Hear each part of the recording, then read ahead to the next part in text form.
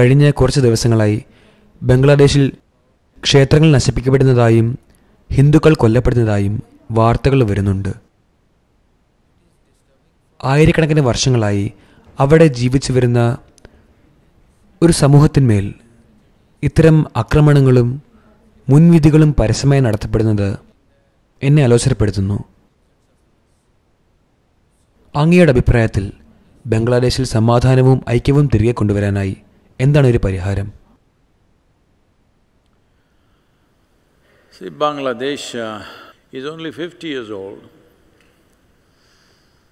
and it went through an upheaval unimaginable levels of violence നോക്കൂ ബംഗ്ലാദേശിന് അൻപത് വയസ്സേ ആയിട്ടുള്ളൂ. അത് വലിയ രീതിയിലുള്ള ചിന്തിക്കുവാൻ പോലും കഴിയാത്ത തരത്തിലുള്ള അക്രമങ്ങളിലൂടെ അത് കടന്നുപോയി. ആ സമയത്ത് തുടർന്ന് പുതിയൊരു രാജ്യം ഉണ്ടായി. പക്ഷേ ഇത്തരത്തിലുള്ള നിർഭാഗ്യകരമായ കാര്യങ്ങൾ ഇപ്പോൾ സംഭവിക്കുന്നതല്ല പലപ്പോഴായി സംഭവിച്ചുകൊണ്ടിരുന്നതാണ്. ഇതിന്റെ പിന്നിൽ നിരവധി ശക്തികളുണ്ട്.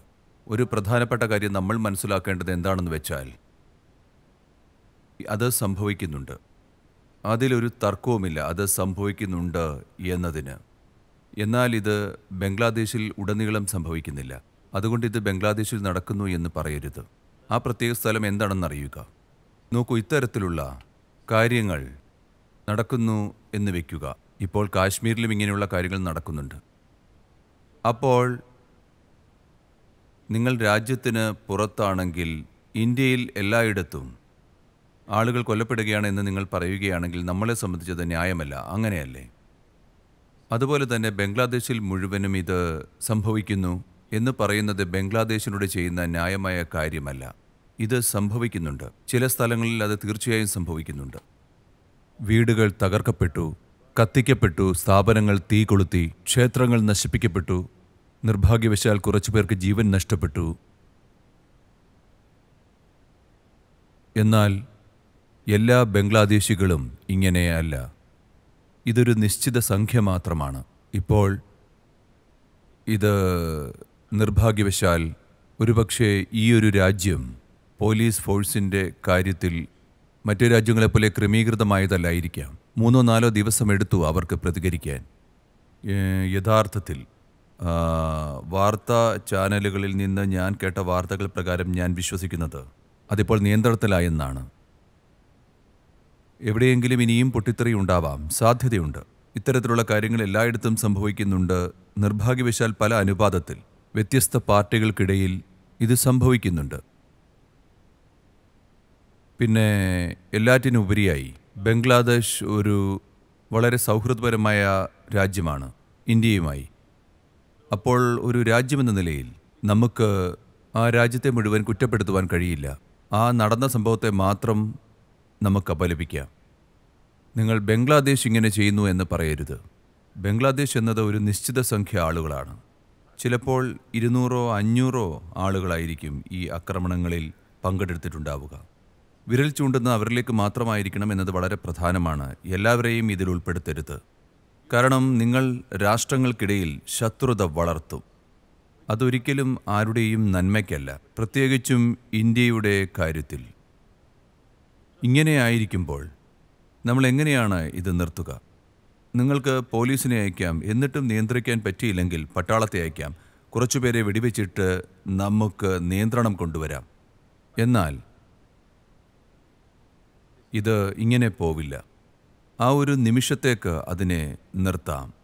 എന്നാൽ ഇത് പോകണമെങ്കിൽ അതിനൊരൊറ്റ മാർഗമേ ഉള്ളൂ മനുഷ്യരിത് പരസ്പരം ചെയ്യുവാനുള്ള കാരണം അവർ പല കാര്യങ്ങളോടും താതാത്മ്യം പ്രാപിക്കുകയും ഒടുവിൽ തങ്ങൾ മനുഷ്യരാണെന്ന കാര്യം മറന്നു പോവുകയും ചെയ്യുന്നതുകൊണ്ടാണ്. നമ്മൾ ഈ മതമായി മാറി ആ മതമായി മാറി ഈ രാജ്യം ആ രാജ്യം ഈ വർഗം ആ വർഗം അങ്ങനെ എല്ലാ കാര്യങ്ങളും മനുഷ്യരാണെന്നതൊഴികെ ഒരു ജീവനായിരിക്കുക എന്നതൊഴിച്ച് മറ്റല്ല. അതുകൊണ്ട് ഈ ഇടുങ്ങിയ താതാത്മ്യത്തിൽ നിന്ന് ഒരു വലിയ ആഗോളപരമായ താതാത്മ്യത്തിലേക്ക് അല്ലെങ്കിൽ അല്ലെങ്കിൽ ഒരു ഒരു വലിയ പ്രാപഞ്ചികമായ താതാത്മ്യത്തിലേക്ക് വരേണ്ടത് വളരെ അത്യാവശ്യമാണ്. നോക്കൂ നിങ്ങൾ പോലും മറന്നുപോയി. ഞാൻ നിങ്ങളോട് പറഞ്ഞതാണ് ലോകത്തിന്റെ അമ്മയായി തീരുവെന്ന്. അതിനുശേഷം എത്ര പ്രാവശ്യം നിങ്ങൾ മറന്നു പോയിട്ടുണ്ട് ഹലോ? അതെ നിങ്ങളത് മറക്കുമ്പോൾ. അവനോ അവളോ മറ്റെന്തിനോടെങ്കിലും ചേർന്നിരിക്കുകയും നിങ്ങൾ പറയുന്നതിനോട് വിയോജിക്കുകയും ചെയ്താൽ അവിടെ അടിപിടി സംഭവിക്കും. നിങ്ങൾ പരുഷമായ വാക്കുകളിലാണ് തുടങ്ങുന്നതെങ്കിലും കാര്യങ്ങൾ നിയന്ത്രണം വിട്ടാൽ കൈകൾ ഉയരും.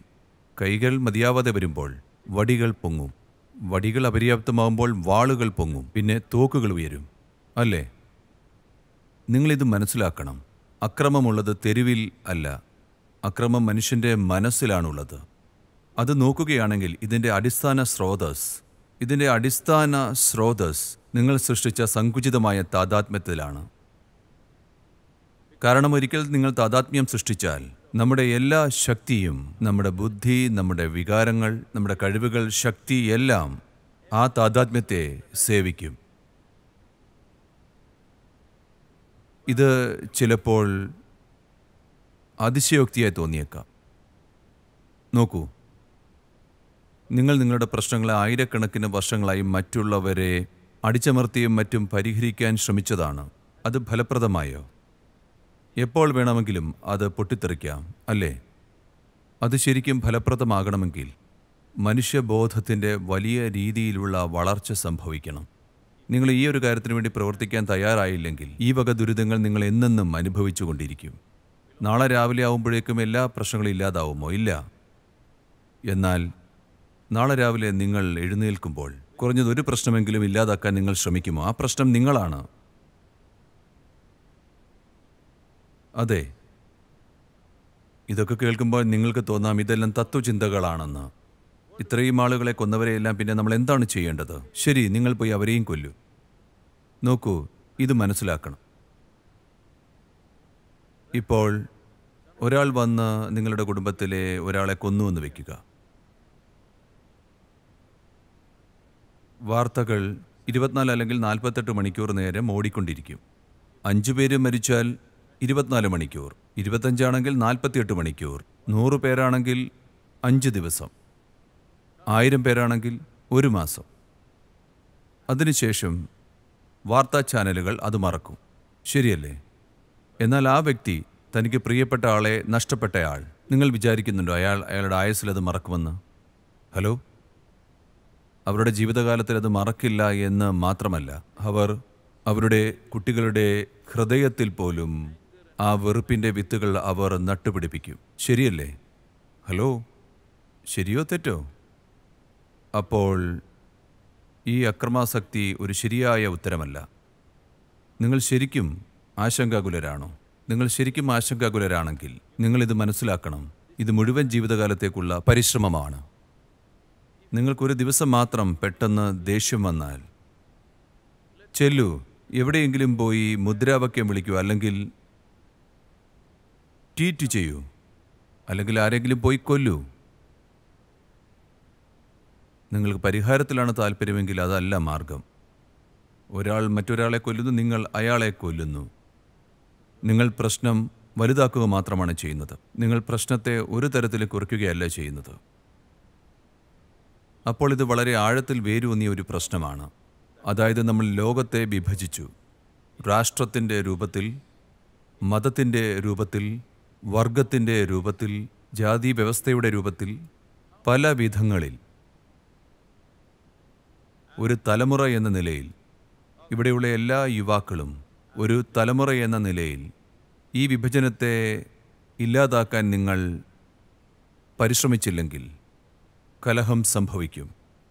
ഏതെങ്കിലും വിധത്തിൽ ഇന്നല്ലെങ്കിൽ നാളെ ഇത് സംഭവിക്കും. നിങ്ങൾ കഴുത്തിനു ചുറ്റും ഒരു സമാധാനത്തിന്റെ ചിഹ്നം അണിഞ്ഞതുകൊണ്ട് മാത്രം അത് നിൽക്കാൻ പോകുന്നില്ല. ഞാനിത് പറയാൻ കാരണം അറുപതുകളിൽ എല്ലാവരും ഒരു സമാധാനത്തിന്റെ ലോക്കറ്റ് അണിഞ്ഞു നടന്നിരുന്നു. നിങ്ങൾക്ക് എന്ത് വേണമെങ്കിലും അണിയാം. അതുകൊണ്ട് തന്നെ അവർ നിങ്ങളെ കൊല്ലും. കാരണം എന്റെ താതാത്മ്യവും നിങ്ങളുടെ താതാത്മ്യവും പൂർണമായും വേർപെട്ടതാണെങ്കിൽ എനിക്ക് നിങ്ങളെ മാറ്റി നിർത്തണം. അത് നടന്നില്ലെങ്കിൽ നിങ്ങളെ ഇല്ലാതാക്കണം.